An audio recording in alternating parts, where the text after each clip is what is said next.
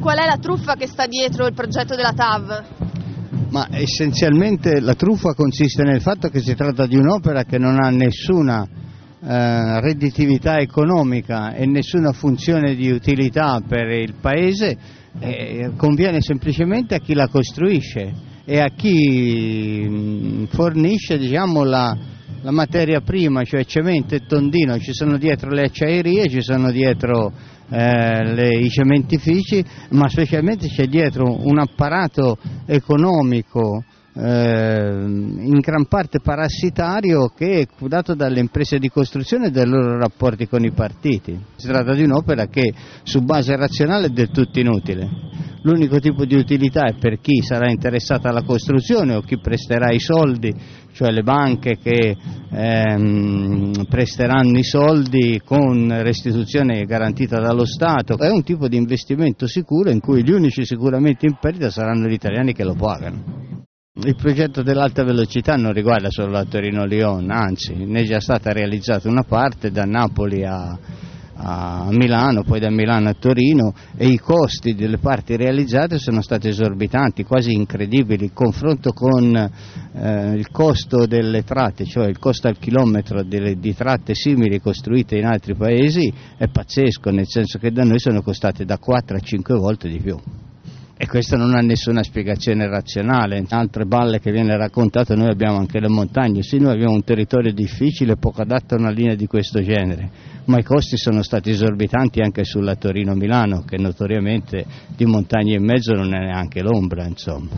Dietro questo sistema c'è un coacervo di interessi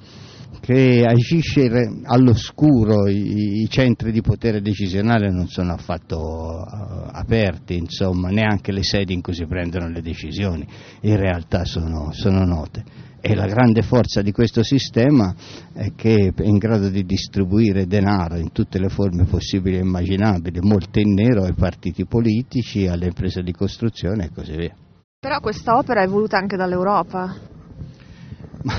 adesso questo fatto che sia voluto dall'Europa, in realtà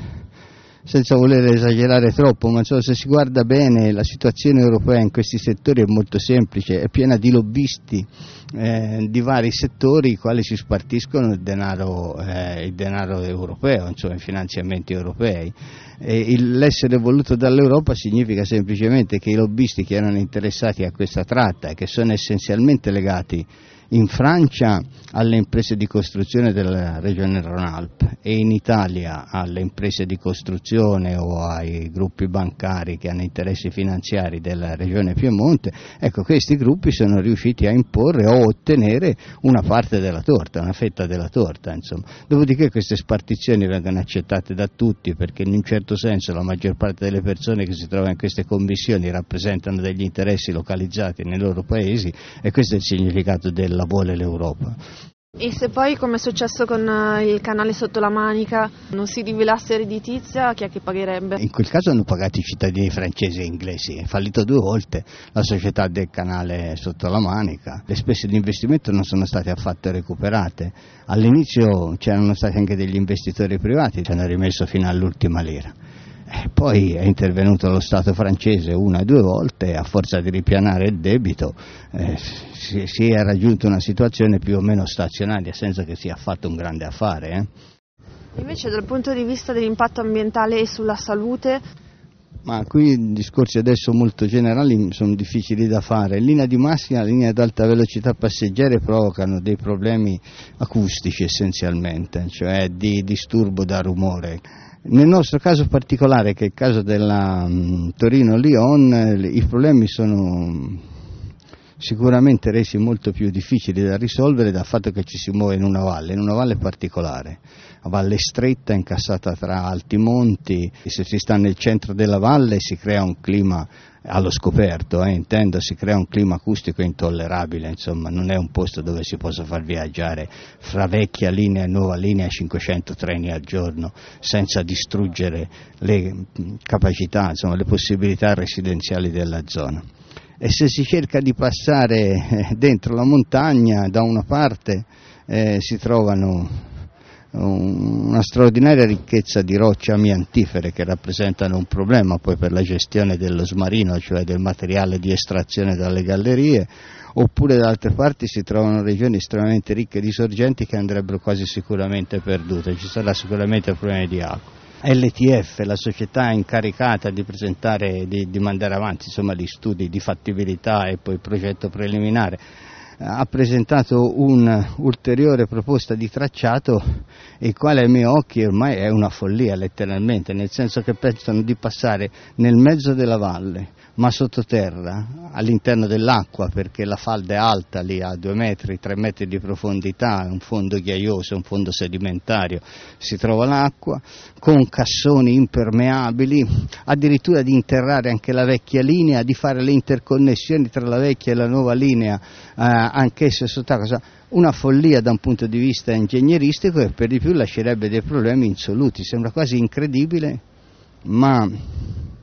negli ambienti dei promotori di quest'opera. Non so neanche io esattamente perché, ma sembra non esserci più nessuno che abbia qualche idea dei principi basilari dell'ingegneria. Cassoni di queste dimensioni saranno una specie di tamburo sotto le abitazioni delle persone che ci vivranno sopra, ammesso che sia possibile conservarli. Loro dicono di sì, ma io penso di no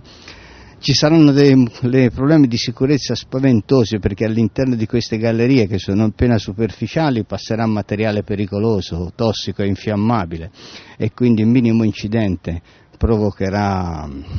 esplosioni di queste gallerie con coinvolgimento di centinaia di persone e, e, poi tanto per finire vogliono scavare, fare un cantiere per vent'anni in una zona i cui terreni sono fortemente inquinati da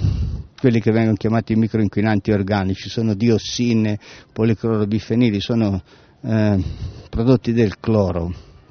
organici del cloro che sono particolarmente pericolosi eh, sotto moltissimi punti di vista. La gente che si troverà all'interno di queste situazioni vivrà come dentro un cantiere e si troverà a respirare la polvere più tossica che si sia mai vista in circolazione. Insomma, sembra che non importi niente a nessuno di questo. L'ultima domanda sulla questione della democrazia. Immagino che lei abbia vissuto gli anni passati, i movimenti so, contro le centrali nucleari, eccetera. Lei pensa che sia cambiata la forza dell'opinione pubblica, dei cittadini, di partecipare insomma, alla democrazia e alle decisioni? Devo dire che in realtà io non mi sono occupato di centrali nucleari, però la cosa che lei ha detto mi, mi offre diciamo, la possibilità di chiarire con un confronto come si sia drasticamente e profondamente modificata la situazione. Vede, quando c'è stata la discussione sul costruire o meno le centrali nucleari, ad esempio quella di Trino Vercellese, si viveva ancora in un mondo in cui c'era la convinzione che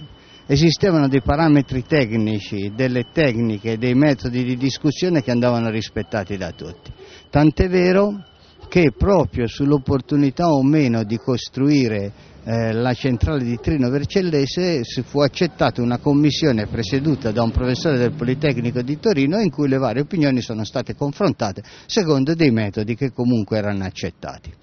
Beh, quando è cominciata la, il problema, diciamo la storia della Torino-Lione, io ho pensato da professore del Politecnico che si potesse ripetere. E ho cercato in tutti i modi di ottenere che il Politecnico istituisse una commissione di studio sui problemi di cui parlavamo prima apparentemente è stato accettato, poi è stato sabotato in tutti i modi possibili e immaginabili e nella sostanza i promotori non hanno voluto a nessun costo che si aprisse una discussione di questo genere. Mi bastava che ci fosse un ente con un minimo di neutralità, diciamo.